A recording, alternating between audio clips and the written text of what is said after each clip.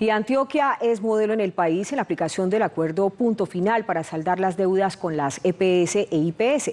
Está todo listo para hacer el pago de 120 mil millones de pesos aportados por la gobernación y los 130 restantes serán entregados por la nación a finales de octubre.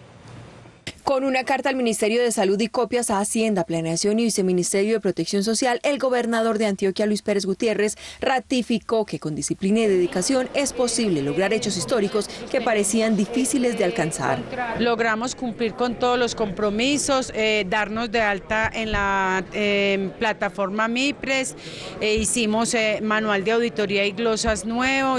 El acuerdo de punto final en Antioquia ya es un hecho histórico para la salud de los antioqueños y un ejemplo a seguir en todo el país. Ya las entidades están recibiendo los recursos y el compromiso es hasta 250 mil millones de pesos. La gobernación está entregando 120 mil millones de pesos y la idea es que antes de finalizar octubre el Ministerio de Salud desembolse 130 mil millones de pesos con los que se comprometió en la firma del pasado 19 de septiembre recursos con los cuales quedarán saldadas las deudas de salud en el departamento.